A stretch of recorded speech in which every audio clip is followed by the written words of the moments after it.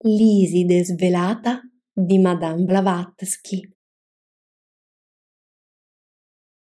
Quel verso profondamente significativo della Genesi, che dice E ad ogni bestia della terra, ad ogni uccello dell'aria, ad ogni cosa che striscia al suolo, ho dato un'anima vivente, dovrebbe richiamare l'attenzione di ogni studioso ebreo capace di leggere la scrittura nell'originale, invece di seguire la traduzione errata nella quale si legge o in cui vi è vita. Dal primo all'ultimo capitolo, i traduttori dei sacri libri ebrei hanno falsamente interpretato il significato del testo. Come dimostra Sir Drummond, hanno perfino mutato l'ortografia del nome di Dio. Così El, se scritto in modo corretto, dovrebbe essere pronunciato Al, perché nell'originale vi è Al. E secondo Higgins, questa parola significa il Dio Mitra, il Sole il conservatore e salvatore. Sir Drummond dimostra che Beth El indica la casa del sole nella sua traduzione letterale e non di Dio. El, nella composizione di questi nomi cananei, non significa Deus, ma Sol, Così la teologia ha sfigurato l'antica teosofia e la scienza l'antica filosofia. Per mancanza di comprensione di questo grande principio filosofico, i metodi della scienza moderna, per quanto esatti, non approdano a nulla. In nessuno dei suoi rami essa può dimostrare l'origine e la fine delle cose, invece di seguire le tracce degli effetti partendo dalla loro sorgente, essa segue il processo inverso. I tipi superiori, secondo il suo insegnamento, sono tutti evoluti da tipi inferiori. Comincia dal basso del ciclo, guidata passo a passo nel grande labirinto della natura da un filo di materia. Appena il filo si rompe, la direzione è perduta ed essa si ritrae atterrita dall'incomprensibile, confessandosi impotente. Non così fecero Platone e i suoi discepoli. Per lui i tipi inferiori erano solo immagini concrete dei tipi astratti superiori. L'anima, che è immortale, ha un inizio, come riflesso del grande archeus universale. È semovente e si diffonde dal centro su tutti i corpi del microcosmo. La triste comprensione di questa verità fece confessare a Tyndall che la scienza è impotente anche sul mondo della materia il primo ordinamento degli atomi da cui dipende ogni azione successiva frustra una potenza superiore a quella del microscopio. Per la sola eccessiva complessità dello studio e molto prima che l'osservazione possa far sentire la sua voce, l'intelletto più preparato e la più raffinata e disciplinata immaginazione si ritirano perplessi senza osare affrontare il problema siamo colpiti da uno stupore che nessun microscopio può dissipare, dubitando non solo del potere nel nostro strumento, ma anche di possedere noi stessi gli elementi intellettuali che ci rendano capaci di afferrare le ultime energie strutturali della natura. La figura geometrica fondamentale della Kabbalah quella figura che la tradizione e le dottrine esoteriche ci dicono essere stata data dalla divinità stessa a Mosè sul monte Sinai, contiene nella sua grandiosa, perché semplice, combinazione la chiave del problema universale. La figura contiene in se stessa tutte le altre. Per coloro che sono capaci di dominarla non vi è bisogno di esercitare l'immaginazione. Nessun microscopio terreno può essere paragonato con l'acutezza della percezione spirituale. Ed anche per coloro che ignorano la grande scienza, la descrizione della genesi di un grano, di un frammento di cristallo o di un altro oggetto, data da un fanciullo psicometra ben addestrato, vale tutti i telescopi e i microscopi della scienza esatta. Può esservi più verità nell'avventurosa pangenesi di Darwin, che Tyndall chiama uno speculatore che sta spiccando il volo, che nelle caute e limitate ipotesi di quest'ultimo, il quale, al pari di altri pensatori del suo genere, circonda la sua immaginazione con delle solide frontiere della ragione. La teoria di un germe microscopico che contiene in sé un mondo di germi minori si slancia in un certo senso verso l'infinito, supera il mondo della materia e comincia inconsciamente ad operare nel mondo dello spirito. Se accettiamo la teoria darwiniana dello sviluppo della specie, troviamo che il suo punto di partenza è posto davanti ad una porta aperta. Noi siamo liberi di restare al di qua o di varcare la soglia oltre la quale vi è l'illimitato e l'incomprensibile, o piuttosto l'inesprimibile se il nostro linguaggio mortale è inadeguato ad esprimere ciò che il nostro spirito intravede oscuramente nel grande al di là, mentre è su questa terra, dovrà rendersene conto in qualche punto dell'eternità senza tempo.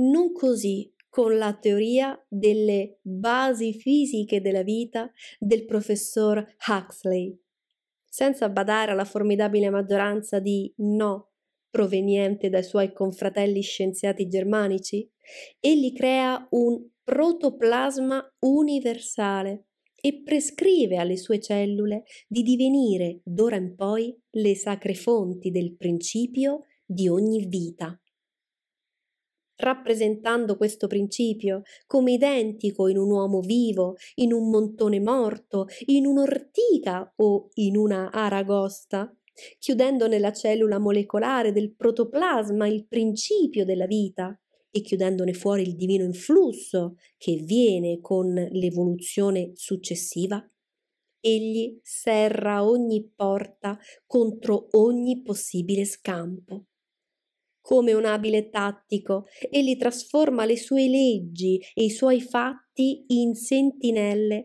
a cui far montar la guardia ad ogni uscita. Sulla bandiera sotto cui le raduna è scritta la parola necessità, ma appena l'ha spiegata, deride quella leggenda chiamandola una vuota ombra della mia stessa immaginazione le fondamentali dottrine dello spiritualismo, egli dice, rimangono fuori dei limiti della ricerca filosofica. Noi oseremo contraddire questa affermazione, sostenendo che sono molto più entro i limiti di questa ricerca che non il suo protoplasma, in quanto esse presentano evidenti e palpabili fatti dell'esistenza dello spirito e le cellule protoplasmiche, una volta morte, non ne presentano alcuno ad indicare che sono le origini e le basi della vita, come vorrebbe farci credere questo autore, uno dei più importanti pensatori del nostro tempo. L'antico cabalista non accoglieva un'ipotesi finché non poteva fondarla sulla solida roccia dell'esperienza registrata ma un'eccessiva dipendenza dai fatti fisici portò ad una recrudescenza di materialismo e alla decadenza della spiritualità e della fede. Al tempo di Aristotele era questa la prevalente tendenza del pensiero. E sebbene il comandamento delfico non fosse ancora completamente eliminato dal pensiero greco, e alcuni filosofi sostenessero ancora che per conoscere quello che l'uomo è, dobbiamo conoscere quello che l'uomo è stato, tuttavia il materialismo aveva già cominciato a rodere le radici della fede. I misteri stessi erano degenerati notevolmente in semplici speculazioni sacerdotali e frodi religiose. Pochi erano i veri adepti ed iniziati, eredi e discendenti di coloro che erano stati dispersi dalle spade conquistatrici dei vari invasori dell'antico Egitto. Il tempo predetto dal grande Hermes nel suo dialogo con Esculapio era giunto, il tempo in cui empi stranieri avrebbero accusato l'Egitto di adorare dei mostri e nulla sarebbe sopravvissuto oltre le lettere incise nella pietra dei suoi monumenti, enigmi incredibili per la posterità. I sacri scribi e gli ierofanti andavano raminghi sulla faccia della terra, costretti per la paura di una profanazione dei sacri misteri a cercar rifugio tra le fraternità ermetiche, conosciute più tardi come Esseni, seppellirono sempre più nel profondo la loro conoscenza esoterica. La spada trionfante di Aristotele spazzò via dalla strada della sua conquista ogni vestigio di una religione una volta pura, e Aristotele stesso, modello e figlio della sua epoca, per quanto istruito nella scienza segreta degli egiziani, conosceva poco dei risultati che coronavano millenni di studi esoterici. Al pari di coloro che vivevano al tempo di Psammetico, i nostri attuali filosofi alzano il velo di Iside, perché Iside non è che il simbolo della natura, ma vedono solo le sue forme fisiche. L'anima interiore sfugge alla loro vista e la Divina Madre non ha risposte per loro. Vi sono anatomisti, i quali, non riuscendo a scoprire lo spirito che dimora sotto lo strato dei muscoli, la rete dei nervi e la materia terrena sollevati dalla punta del loro scalpello, affermano che l'uomo non ha anima. Essi sono ciechi, come lo studioso che, limitando la sua ricerca alla fredda lettera della Kabbalah, osa dire che non vi è in essa uno spirito vivificante. Per vedere il vero uomo che una volta abitava nel soggetto disteso sulla tavola anatomica dinanzi a lui, il chirurgo deve usare altri occhi che quelli del corpo Così la gloriosa verità celata negli scritti ieratici degli antichi papiri può essere rivelata solo a colui che possiede la facoltà di intuizione, la quale, se chiamiamo la ragione occhio della mente, può essere definita l'occhio dell'anima. La nostra scienza moderna riconosce un potere supremo, un principio invisibile, ma nega un essere supremo o Dio personale. Logicamente la differenza fra i due può essere discussa, perché in questo caso il potere e l'essere sono identici. La ragione umana non può raffigurarsi un potere supremo intelligente senza associarlo all'idea di un essere intelligente. Non potremo mai aspettarci che le masse abbiano una chiara concezione dell'onnipotenza e onnipresenza di un Dio supremo, senza investire di questi attributi una gigantesca proiezione della loro stessa personalità ma i cabalisti non hanno mai considerato l'invisibile Ensof altrimenti che come un potere. Finora i nostri moderni positivisti sono stati anticipati di migliaia di secoli nella loro cauta filosofia.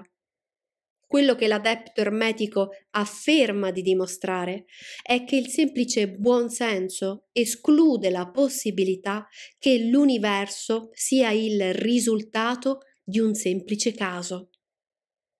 Un'idea simile gli appare più assurda che il pensare che i problemi di Euclide siano stati inconsciamente formati da una scimmia che giocava con le figure geometriche.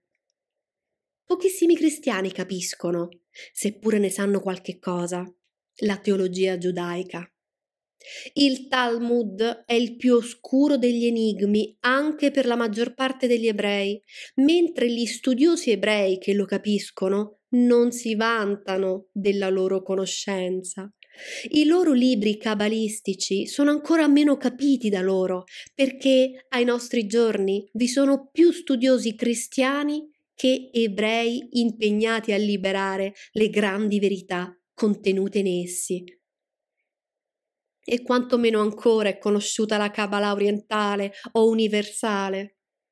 I suoi adepti sono veramente pochi, ma questi eletti eredi dei saggi, che per primi scoprirono le verità astrali sul grande scemaia della scienza caldea, hanno risolto l'assoluto e adesso riposano della loro grande fatica. Essi non possono andare oltre ciò che è concesso di conoscere ai mortali di questa terra, e nessuno, nemmeno questi eletti, può passare oltre la linea tracciata dal dito della stessa divinità.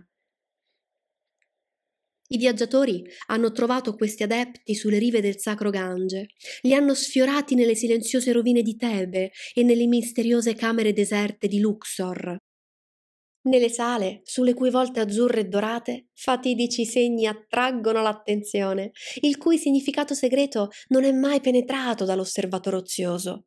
Quegli adepti sono stati visti, ma raramente riconosciuti.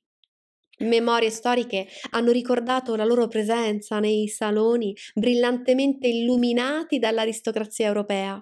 Essi sono stati anche incontrati nelle aride e desolate pianure del Sahara, come nelle caverne di Elefanta. Possono essere trovati dappertutto, ma si fanno riconoscere solo da coloro che si sono dedicati ad uno studio disinteressato e non torneranno facilmente indietro. Maimonide, il grande teologo e storico ebreo, che un tempo fu quasi divinizzato dai suoi concittadini e poi trattato da eretico, fa notare che quanto più il Talmud sembra assurdo e vuoto di senso, tanto più sublime è il suo significato segreto. Questo dotto ha luminosamente dimostrato che la magia caldea, la scienza di Mosè e di altri eruditi taumaturghi era interamente fondata su una vasta conoscenza dei vari e adesso dimenticati rami della scienza naturale perfettamente al corrente di tutte le risorse dei regni vegetale, animale e minerale, esperti nella chimica e nella fisica occulte ed anche fisiologi come erano. Non c'è da stupirsi se i diplomati o adepti istruiti nei misteriosi santuari dei templi potevano fare meraviglie che anche ai nostri giorni illuminati apparirebbero soprannaturali. È un insulto alla natura umana marchiare la magia e la scienza occulta col nome di impostura. Credere che per tante migliaia di anni metà del genere umano abbia praticato l'inganno e la frode sull'altra metà equivale a dire che la razza umana era composta solo di furfanti e di idioti irrecuperabili qual è la regione in cui la magia non fu praticata? In quale secolo fu totalmente dimenticata?